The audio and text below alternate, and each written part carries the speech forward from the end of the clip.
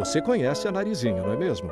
A famosa personagem de Monteiro Lobato que vive as maiores aventuras ao lado do primo Pedrinho, da boneca Emília e do sabido Visconde de Sabugosa. Pois ela existiu mesmo. E foi uma menina extremamente talentosa, que cresceu e se tornou a personagem principal de uma bela e verdadeira história.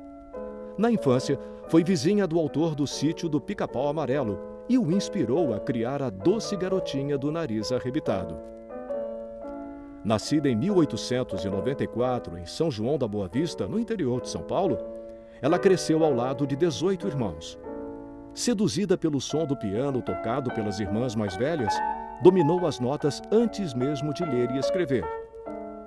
Aos oito anos, já tocava com precisão e sensibilidade.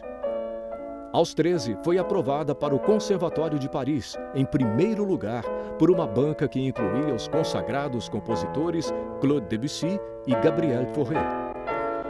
Como pianista profissional, conquistou o público e a crítica.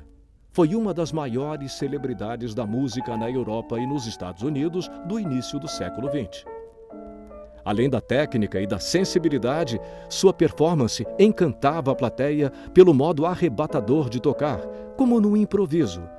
Parecia estar em transe, costumavam dizer. Famosa intérprete de Chopin e Schumann, foi também importante divulgadora da obra de Vila Lobos no exterior.